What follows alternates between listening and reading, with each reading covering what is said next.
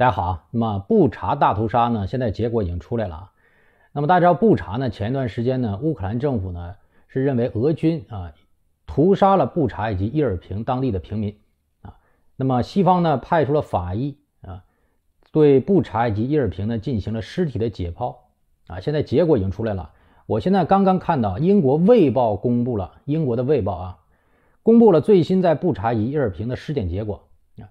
根据专家对啊死者身体啊。受伤处的检查呢，发现死者大多数的受伤处没有发现被子弹击中的痕迹，大量的死者呢不是被子弹杀伤的，而是被炮弹的碎片杀死的。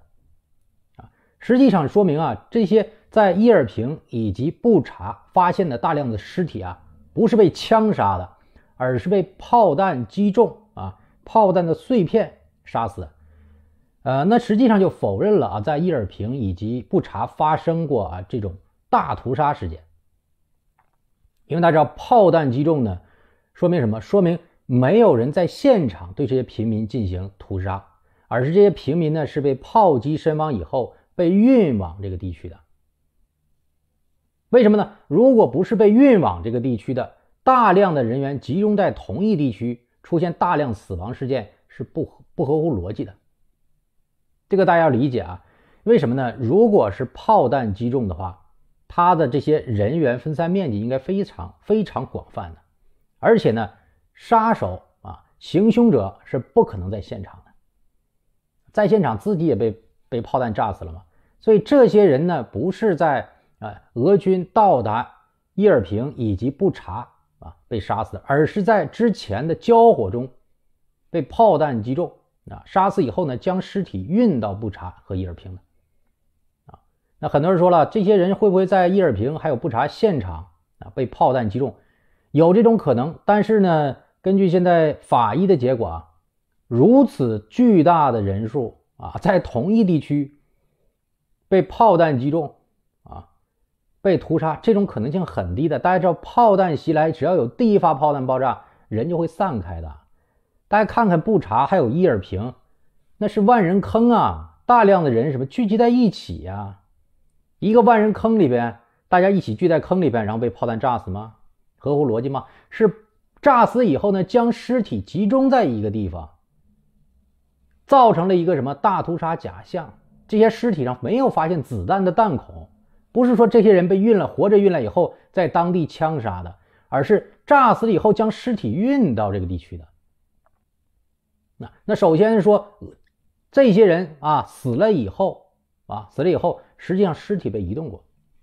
啊至少可以证明这一点啊。另外呢，这些人被杀时，俄军肯定不在现场啊，炮弹击中，炮弹碎片击中，俄军如果在现场，俄军也死了。这些人死的时候，第一啊也不能说是俄军啊，凶手不在现场，是被炮弹击中。啊，这些人是平民啊，被榴弹击中，然后将尸体。啊，移到万人坑，所以你在伊尔平、在布查看到大量的万人坑，这些尸体是被移动过的，啊，是被有人故意埋在这儿的，被谁埋在这儿的，不知道了，啊，这是西方现在最新的一个结果啊。那么对尸体检查呢，发现一种啊飞镖状的金属飞镖，啊，就是这种像铁钉一样的啊这种炮弹，实际上这种炮弹呢。呃，根据《卫报》采访乌克兰法医专家叫弗拉迪斯拉夫啊佩罗夫斯基，他呢表示啊，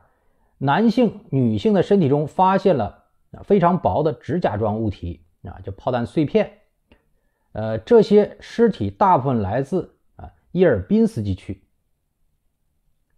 那这些尸体中啊，也发现了飞镖状的金属。飞镖这样状的金属呢，对人可以进行大规模杀伤啊！其武器呢，第一次使用在一战期间。那现在根据法医的说法呢，呃，坦克、野战炮等炮弹中啊，都存在有这种钉状的啊这种金属。那每个炮炮弹呢，最多可以有八千个这种钉子。一次射击爆炸以后呢，分布的面积非常广。长一百米，宽三百米啊，都是杀伤面积。但是这种炮弹呢，没有被联合国禁止使用啊。在城市战中使用呢，实际上违反了人道法，但是没有违反啊国际法。呃，那么现在来看呢，这些炮弹呢属于啊幺二二毫米的 ZSH 杠一炮弹。那这个炮弹呢，主要用于 D 三零榴弹。为大家简单介绍这款榴弹炮啊，这款榴弹炮呢是由彼得罗夫设计啊，一九五零年代呃开始制造啊，六零年服役。呃，它呢战斗权重是三千二百一十公斤啊，三吨左右啊。呃，那么炮管长呢是四点六六米，口径呢是三十八，宽度是一点九米啊，高度是一点六米。呃，操作人数一到七人，口径幺二毫米啊。那它射速呢可以达到啊十到十二发。那有。那么这个 D 三零榴弹炮呢，它最引人注目的是这种三脚架的结构啊，它呢可以快速的移动并进行三百六十度的旋转。那么现在呢，除了前苏联加盟共和国、前苏联这些国家有生产 D 三零以外呢，在六十多个国家实际上都有生产啊，国际上也有制造这种炮的。那中国、埃及、塞尔维亚啊都有这种炮的变体。另外呢，叙利亚的。呃，主战坦克呢，实际也使用了这种啊榴弹炮，它的炮管是也可以发射这种弹丸的啊。那俄乌冲突啊，俄军装备 D 三零榴弹炮呢是四千五百七十门，乌克兰方面呢装备的是一百二十九门啊。那么在布查镇啊，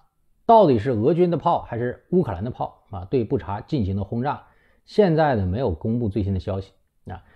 但是有一点可以确定。啊，就这些尸体呢，并不是在布查镇这个万人坑发现这种啊万人坑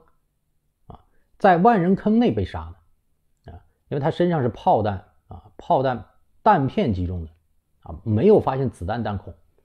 这些人呢，尸体是被击毙以后呢，尸体是被移动到这个万人坑进行掩埋啊，所以这个信息应该是非常确认的。呃，所以说呢，我觉得布查呢发生过大量的人员死亡。但是呢，这些人员死亡应该不是啊那种行刑式的大屠杀式的，而是炮战啊炮战中被榴弹击中的这些啊平民死了以后呢，被集中在这个地区进行掩埋啊。所以呢，我觉得布查大屠杀呢，现在呢啊应该有一个相对明确的结果啊，就是没有发生大规模类似于这种行刑式的大屠杀，应该是没有这个被。最后呢，我想说说我自己对这个布查事件的看法啊。那如果按照之前这个说法呢，没有发生这种行刑式大屠杀啊，那我觉得首先可以排除一点啊，俄罗斯也就是俄军，俄军如果他占领了布查，不是进行行刑式的大屠杀，他在撤离布查以后呢，没有必要将这些尸体又留在原地不动，给国际是吧一个口实说俄军进行大屠杀，俄军是不会这样做的。将这些尸体在布查镇街道上摆放，也不收尸，也不移动，甚至车辆在这个城市进行穿行的时候还影响交通啊！那这些尸体为什么不派人处理掉呢？所以我说，俄军是不会在现场留下这些尸体的。如果是被俄军杀死的，那么这些尸体出现在布查镇，被炮弹击中的尸体出现在布查镇，那我觉得首先一点啊，乌军有嫌疑。会不会是一种表演呢？大家想一想，这是被炮弹击中的尸体，将尸体移动到布查镇，然后进行摆放，摆放以后拍成节目，全世界播放。你不能排除这个，所以从这一点看，我觉得乌克兰方面嫌疑更大，也可能这些尸体呢不是啊，不是被乌军杀死的啊，是被俄军的炮榴弹啊击中，对吧？双方炮战榴弹击中，但是尸体一定是乌克兰方面进行过处理，进行过啊。移位，也就是在整个布查镇进行过一种摆拍活动，啊，这是可以确定，啊，这是我的看法啊，因为现在呢，独立调查结果呢，呃，联合国包括国际社会也没有公布，啊，我只能谈谈我自己的看法，呃，这些人呢死亡呢，我觉得是个悲剧啊，被炮弹击中，啊，在炮战中被击中，啊，是个悲剧。这些人死了以后呢，又被乌克兰方面呢作为宣传工具啊，对俄军进行这种政治上宣传啊。所以我说，战争中啊，实际上老百姓是最惨